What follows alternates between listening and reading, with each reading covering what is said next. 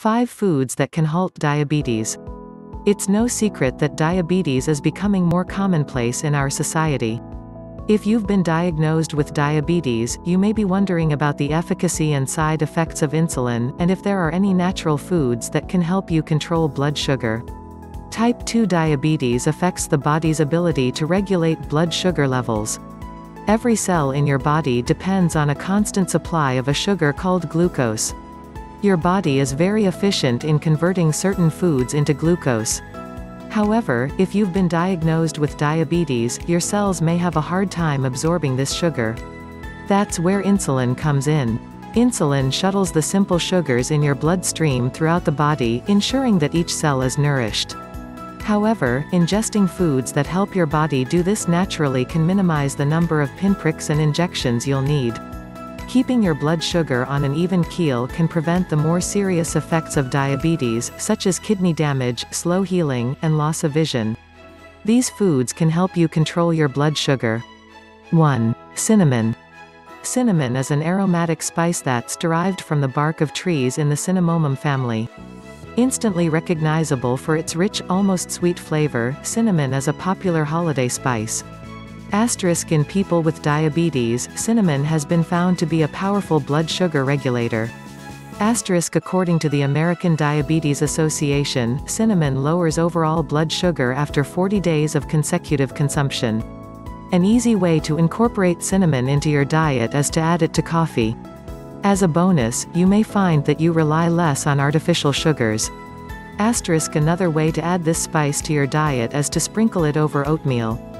If you chew sugar-free gum, reach for the cinnamon variety. Additionally, a study from Wheeling Jesuit University found that cinnamon also strengthens memory. 2. Ginseng. According to the ECAM study, ginseng on hyperglycemia, effects and mechanisms, ginseng lowers fasting and post-meal blood sugar levels. Asterisk researchers aren't entirely sure how this works, but many experts believe that ginseng protects pancreatic beta cells. Asterisk you can add ginseng to tea, and it's available in chewing gum and nutritional supplements. Ginseng is also a blood thinner, so be careful if you're on blood thinning medications. 3. Broccoli.